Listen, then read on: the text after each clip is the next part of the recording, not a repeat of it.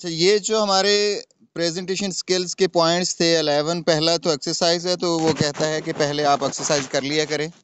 That is the better way as a practice before actual time दूसरा था work on your own pauses तो बात को घबराहट से हम तेज़ हो जाते हैं, लेकिन कोई ऐसी तेज़ होने की ज़रूरत नहीं है। आप वहाँ वक्फा कर लें तो हम्बल के साथ उसको कर लिया करें।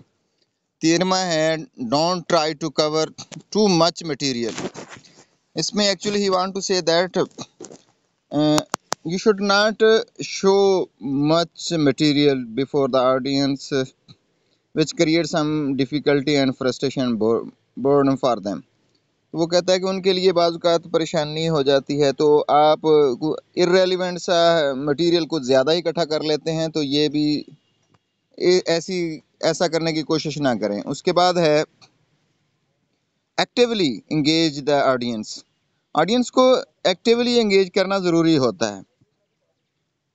वो बोर हो रहे होते हैं आगे पीछे देखने लग जाते हैं या कुछ लोग जो है ना बिल्कुल ही तवज्जो नहीं दे रहे होते तो तो is necessary for you to put a question on it so that uh, the, some people can be attentive for you तो उनकी तवज्जो खींचना फिर ज़रूरी हो जाती है। वो क्वेश्चन की सूरत में हो सकता है।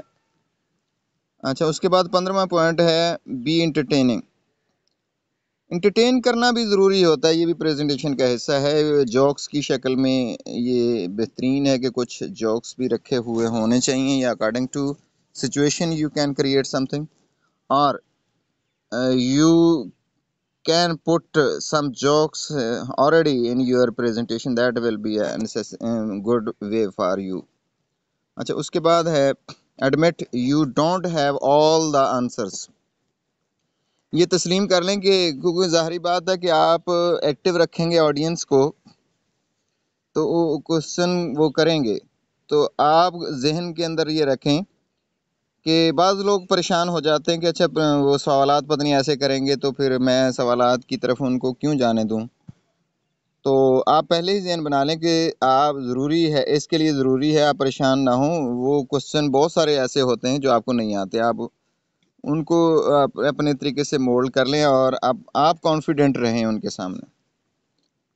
अगला पेज करें शाबाश बच्चों।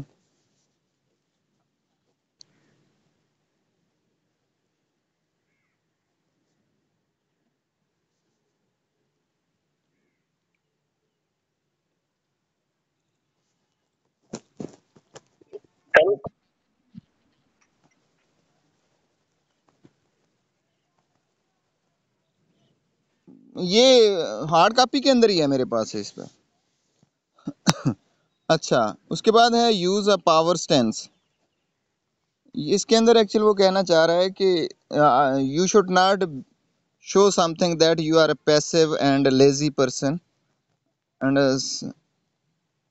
thing creates some kind of uh, bad impression on the audience and uh, on you even का ऐसा होता है कि इससे जो है बुरा असर पड़ता है। आप स्किलफुल पावरफुल एक्टिव चुस्त रहें तो उनके सामने और ये चीज़ें कॉन्फिडेंस को शो करती हैं।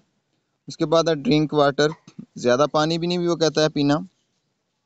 लेकिन बाज़ का देखने में आता है कि गला खुश्क हो तो एंगजाइटी को ये ज़्यादा शो करवाता है।